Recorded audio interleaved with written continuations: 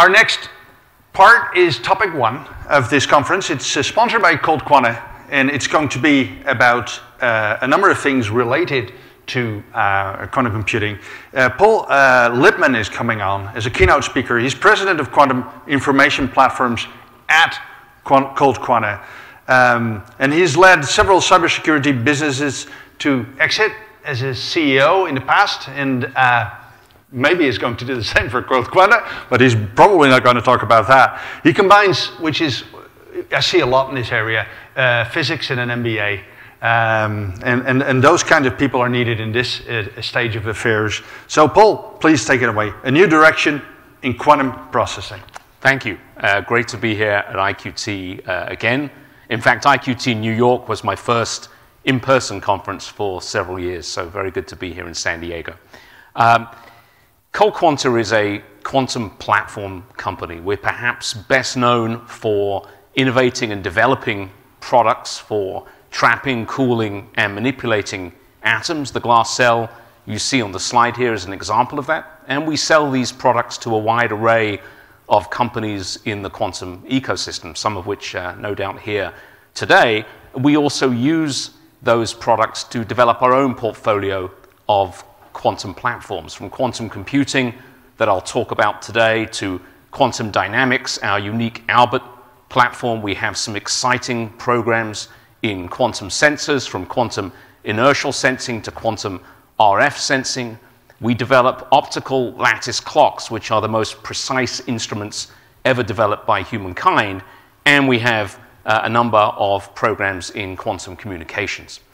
More broadly, uh, looking forward, the vision of the company is to connect quantum sensors with quantum computers and quantum signal processing platforms via quantum communication networks to help solve some of the world's most pressing problems. Today, though, I am absolutely delighted to announce two pivotal milestones for Cold Quanta the acquisition of a Chicago based exceptional quantum software company Supertech. The founder, co founder, and CEO Pranav Gokhale is here. Uh, thank you. Uh, and uh, in addition, the commercial release in beta of Hilbert, the world's first gate based cold atom quantum computer. So, big day for us. Thank you. So, uh, atoms are uh, a very promising approach to building quantum computers. They're neutral, so we pack them very closely together in a two dimensional array. They're just a couple of microns uh, apart, and inherently that's a massively scalable approach. We then cool those atoms with lasers. So the actual system itself is operating at room temperature, there's no cryogenics required. Uh, and then we entangle the atoms through Rydberg excitation, and that has a very broad effect on the array, so inherently yields high connectivity. And that high connectivity, coupled with the rich atomic state of the atoms that we're using, provides a very promising path to error correction and future fault tolerance. Uh, and then, last but certainly by no means least, this approach is inherently miniaturizable. The cell that I showed you before would fit in the palm of my hand. The rest of the quantum computer is lasers, it's optics, it's electronics, all of which can be miniaturized down.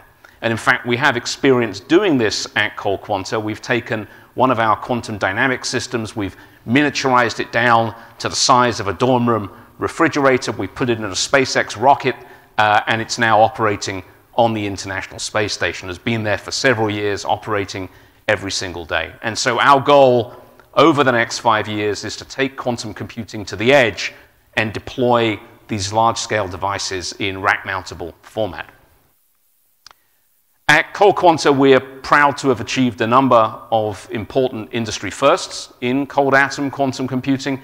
Just last month, uh, in conjunction with our academic partners at the University of Wisconsin Madison and with Riverlane, we had a paper published in Nature where we demonstrated for the first time the execution of algorithms on a cold atom quantum computer. And again, we have another paper uh, with Madison that's available on the arXiv, where we demonstrate the largest ever array of trapped atoms, over 1,200, 1,225 to be precise. And then again today, we are announcing in commercial beta Hilbert, the world's first gate-based cold atom quantum computer. So as we look forward, uh, our goal by roughly 2025 is to take that 1,000 atom array, in fact, even larger arrays than that that we're working on today, and operationalize those as a 1,000 qubit quantum computer. We have multiple programs internally on beam shaping, beam steering, all of the optics and photonics and atomics necessary to create these large scale devices. And then the cell I showed you before could hold tens of thousands of qubits. So we believe we have a compelling path by the end of the decade to scale towards a million qubits.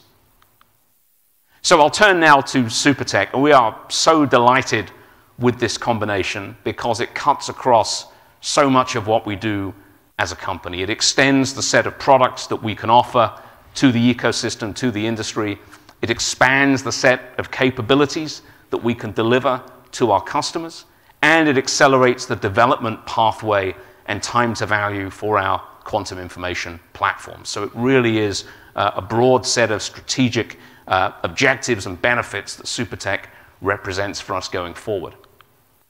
So the problem that Supertech set out to solve, and I'm, I'm going to give no doubt a much uh, more simplistic view than Pranav would do if he were up here, uh, was really to bridge what we refer to as the quantum gap, which is the gap between the capabilities of current and near term quantum computers in the tens to hundreds of qubit range, regardless of whether they're cold atom, superconducting, trapped ion, the gap between those systems and the computational power that will be required to unlock the trillions of dollars of market value that we all talk about in revolutionizing industries like pharmaceuticals, material science, financial services.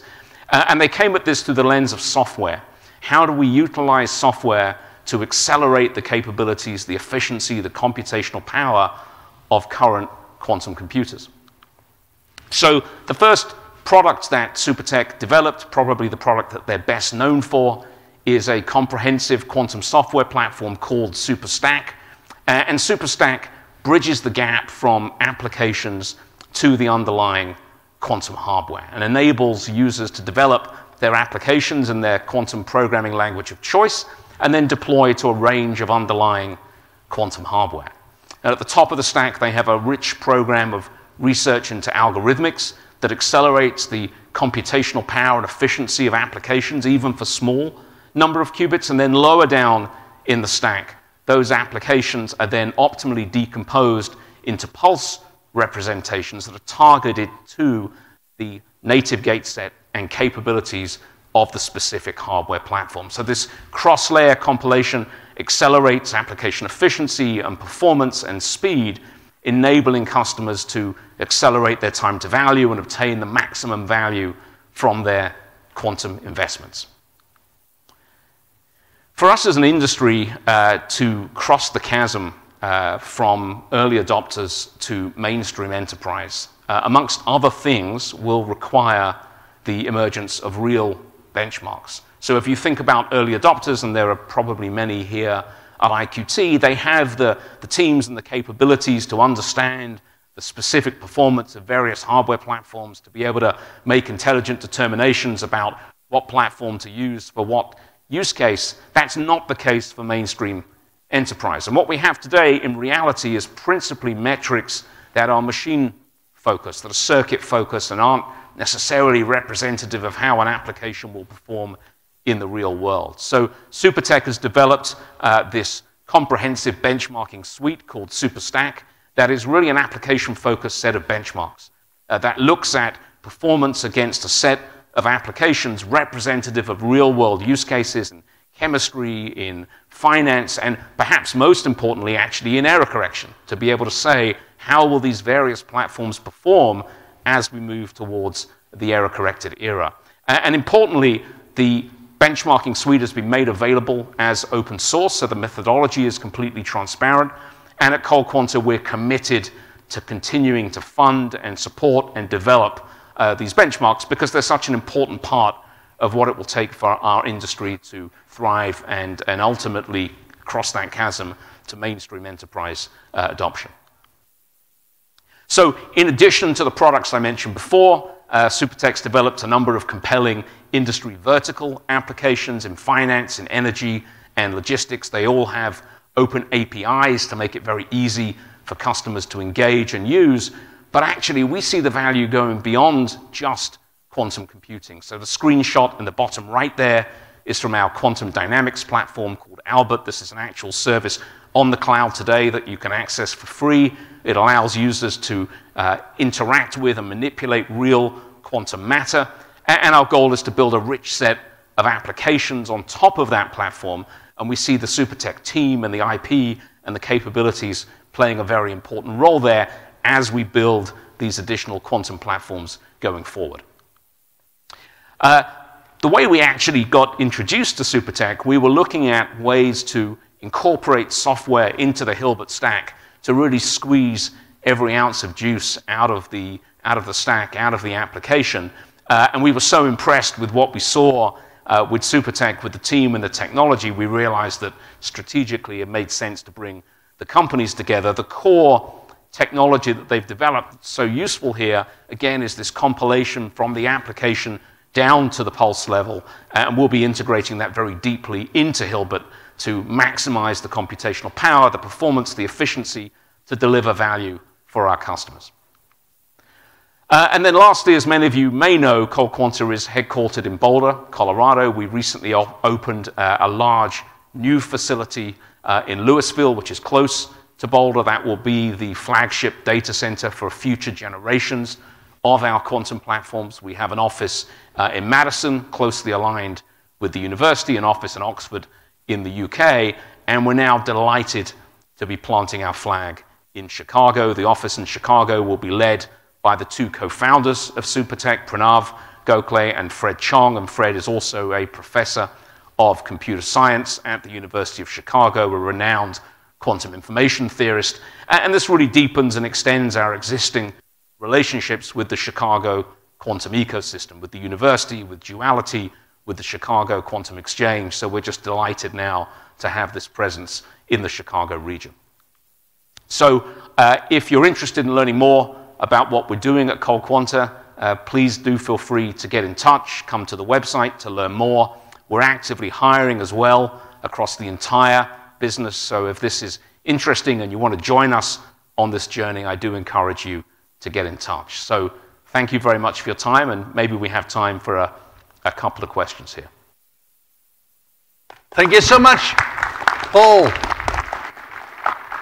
And it's in, intriguing to see how, how you're moving forward. And again, that ecosystem coming together to make things real for people. And, uh, and you, you, have any projections? When, when do you expect, you know, your first real mark? Yeah, I'm back. Your first real uh, market value uh, that really starts driving the market.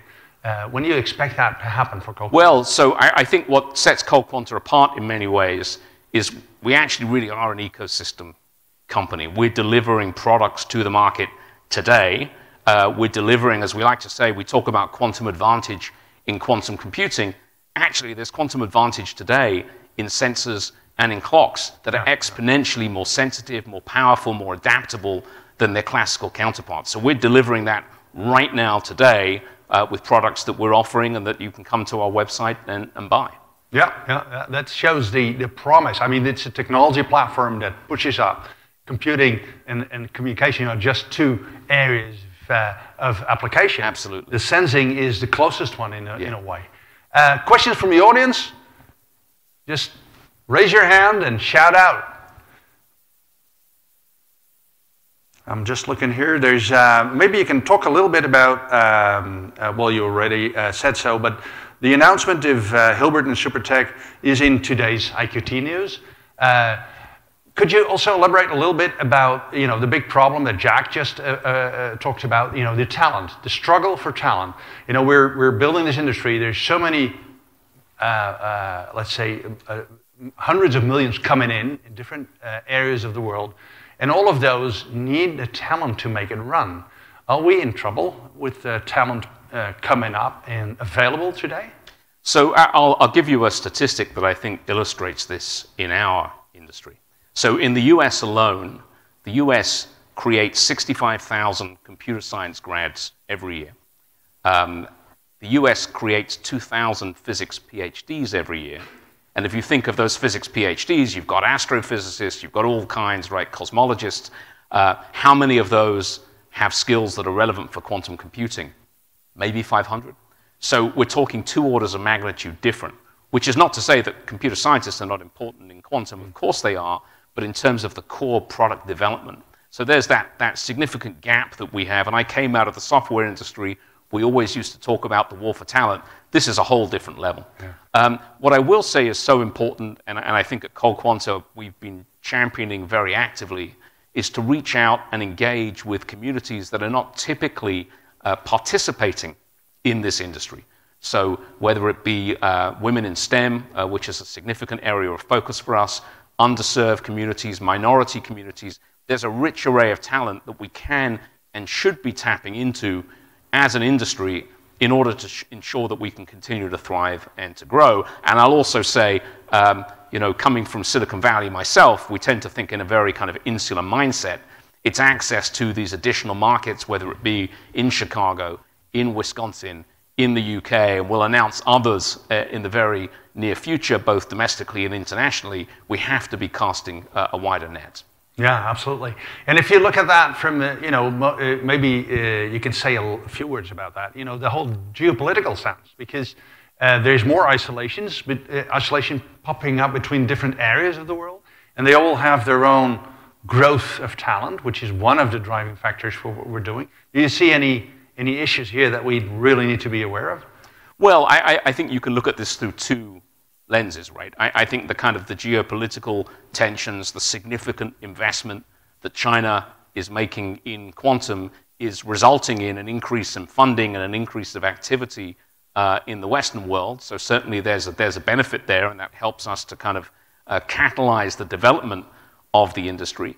I think also we, we need to think about, and we'll be talking later on today, about the importance of partnerships in this industry. Because one of the great things that the US does for the world and, and the Western world does for the world is this concept of entrepreneurship and, and this concept of startups and this concept of the ecosystem that surrounds the development of those companies. And it's through that ecosystem and the partnerships within the ecosystem that I think we really drive the innovations that are necessary to retain competitiveness on the international stage. Yeah, yeah. I d- I couldn't agree more. It is, uh, I think, a, a, real challenge for you know the uh, the coalition of, of, Western countries to also have that, uh, have control over those progressions, and, and make sure we end up where we want to be together. So. Okay, thank you very much, Paul, thank and uh, uh, thanks for supporting uh, IQT this way. Right. And uh, looking forward to, to speaking to you later. Thank you.